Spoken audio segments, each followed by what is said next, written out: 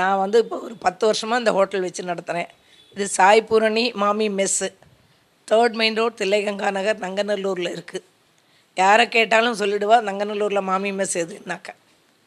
இப்போ பத்து வருஷமாக இங்கே நடத்தின்னு இருக்கேன். இதுக்கு முன்னால் வந்து நான் வந்து கேட்ரிங் தான் பண்ணிகிட்டு இருந்தேன்.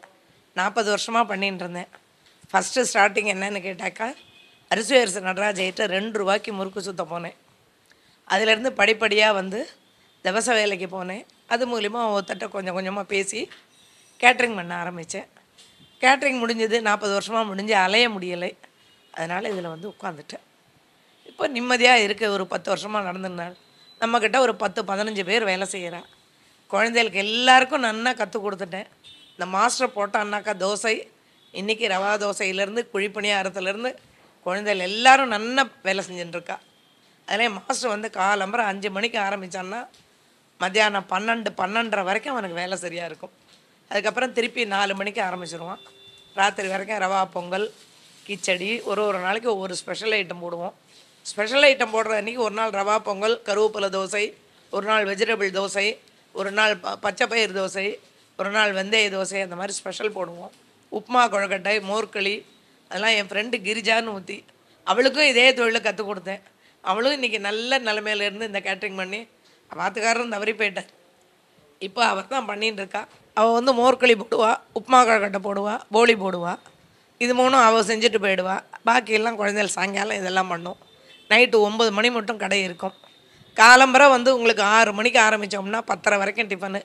பதினொன்றரை மணிக்கு மீல்ஸ் ஆரம்பித்தா ரெண்டரை மணியோட க்ளோஸ் பண்ணிவிடுவோம்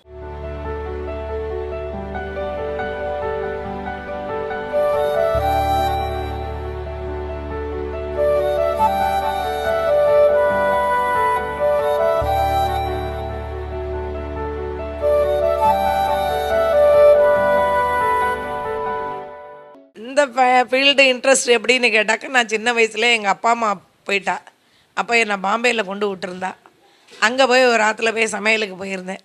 அங்கே சமையலுக்கு போனதுக்கப்புறம் அங்கேருந்து கொஞ்சம் கொஞ்சமாக கற்றுட்டு வந்தேன். பதினேழு வயசுக்கெல்லாம் என்னை கல்யாணம் பண்ணி கொடுத்துட்டா.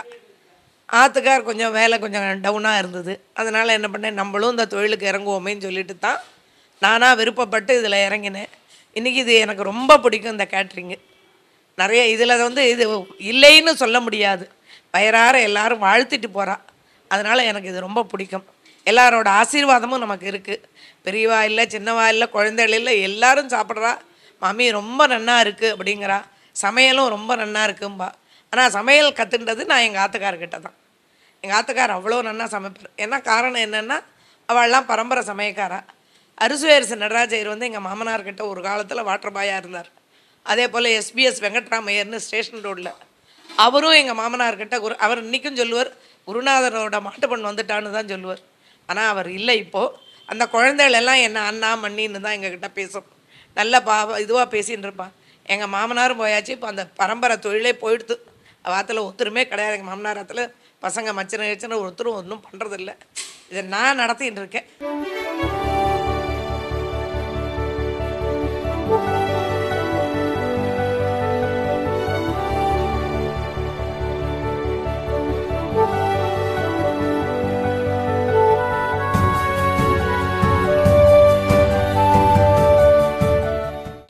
சந்தோஷப்படுறது அப்படிங்கிறது வந்து எல்லாரும் வந்து பாராட்டுறா.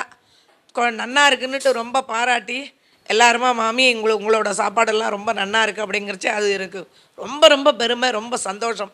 ஒரு கல்யாண கான்ட்ராக்டில் போனோம்னா ஒரு லேடி இந்த மாதிரி எடுத்து நடத்துகிறாளே இதுக்கு வந்து இந்த மாதிரி நம்மளாலலாம் நடத்த முடியாது அப்படின்னுட்டு ரொம்ப பாராட்டுவா. அதெல்லாம் எனக்கு ஒரு பெருமை. எங்கள் ஆற்றுல எல்லாருக்குமே இப்போ எங்கள் அண்ணா தங்க எல்லாருமே வந்து ரொம்ப பாராட்டுவா. ஐயோ ரேவதியா இப்படி கஷ்டப்படுறாளே ஏன்னா எங்கள் அம்மா அப்போ அந்த நாளில் கஷ்டப்பட்டிருக்காளாம். இன்றைக்கி கஷ்டப்பட்டு இன்றைக்கி ஒரு நல்ல நிலைமைக்கு வந்திருக்கா? அப்படின்னதுனால எனக்கு ஒரு ரொம்ப பெருமை. என் பொண்ணை இந்த வேலையில் பார்த்து தான் எம்பிஏ வரைக்கும் என் பொண்ணை படிக்க வச்சு இன்றைக்கி அவளும் ஒரு நல்ல நிலமையில் இருக்கா. அதனால் எங்களுக்கு எந்த குறையும் இப்போ இல்லை. ஒன்ஸ் அப்பான் டைம் ரொம்ப கஷ்டப்பட்டிருக்கேன். சாப்பாட்டுக்கு வழி இல்லாத ரொம்ப கஷ்டப்பட்டிருக்கேன் குழந்தைய வச்சுட்டு அப்போ தான் இதில் இறங்கினேன். இதில் இறங்கினா நமக்கு ஒரு நல்ல ஃபீல்டில் கிடச்சிதுன்னு ரொம்ப சந்தோஷம். எங்கள் ஆற்றுல எல்லாரும் பரவாயில்ல நீ இதையே செய்கிறியே பாராட்டின்னு இருக்கா எல்லாருமே.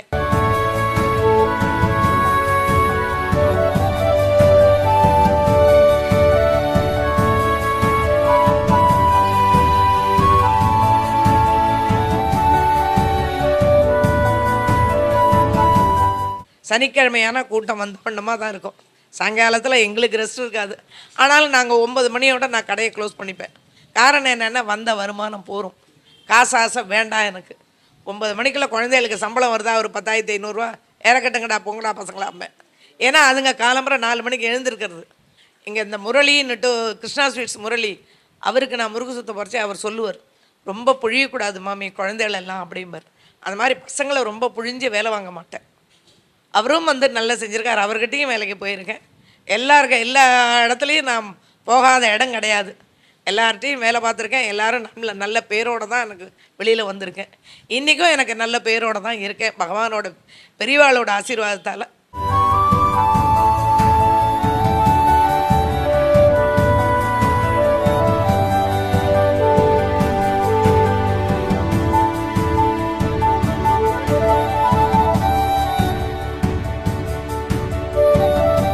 இங்கே வந்து எப்படின்னு கேட்டால் சனிக்கிழமையானாக்கா கே சேனக்கிழங்கு கறி கோஸ் சவு சவு கூட்டு இதெல்லாம் கறியெல்லாம் ரொம்ப ஃபேமஸ்ஸு சாம்பார் ரசம்.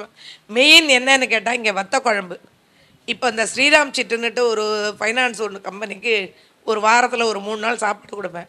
அந்த பிள்ளையாண்ட வந்து மாமி உங்கள் வத்த குழம்புக்கு நான் அடிமையாயிட்டேன் அப்படிம்பேன்.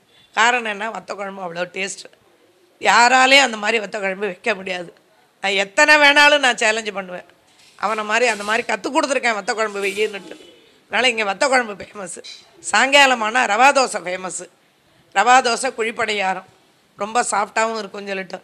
கீரை வடை இந்த வடை வகைராக்கெல்லாம் கீரை வடை கோஸ் வடை. சாயங்காலத்தில் ஒவ்வொரு நாளைக்கு ஒவ்வொன்று வாழைப்பூ வடை.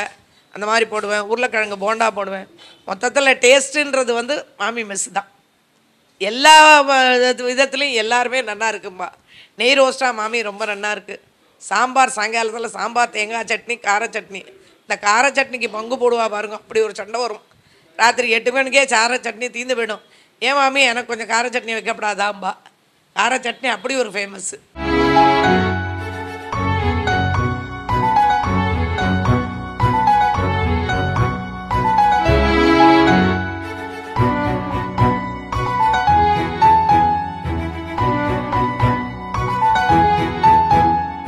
கடை வந்து எவ்ரி டேவும் உண்டு. மாதத்தில் ஒரு நாள் தான் லீவு செவ்வாய்க்கிழமை. பாக்கி நாளெல்லாம் உண்டு. காத்தால ஆறரை மணிக்கு ஸ்டார்ட் பண்ணால் பத்தரை வரைக்கும் டிஃபன் பதினொன்றரை மணிக்கு லஞ்சு ஸ்டார்ட் பண்ணால் ரெண்டரை மணியோட சாப்பாடு க்ளோஸ் திருப்பி அஞ்சரை மணிக்கெலாம் எல்லோரும் வந்துடுவா காப்பி ரெடியா? டிஃபன் ரெடியான்னு. இந்த அஞ்சரை மணிலேருந்து ராத்திரி ஒம்பது மணி மட்டும் இருக்கும். எனி டைம் கடை இருந்துகிட்டே இருக்கும். ஆனால் சாப்பாடு டிஃபன் வந்து குறிப்பிட்ட டைம் தான். எந்த நாளும் மூடர் க்ளோஸிங்கே கிடையாது. இந்த கடையை சாப்பிடணுங்கப்பட்ட ஒரு இஷ்ட விருப்பப்பட்டவா எல்லாருமே இந்த கடையை வந்து பார்க்கலாம். தாராளமாக சாப்பிடலாம் உடம்புக்கு ஒன்றுமே பண்ணாது. இந்த அஜினோமோட்டோ கலக்கிறது இந்த கண்டதெல்லாம் கலக்கிறதெல்லாம் இந்த கடையில் கிடையாது. ஒரிஜினலாகவே சாம்பார் ஒரிஜினலாகவே நாலு கிலோ பருப்பு போட்டோமா ஒரிஜினலாக சாம்பார். மூணு கிலோ பருப்பு போட்டோமா ஒரிஜினலான கொஸ்து.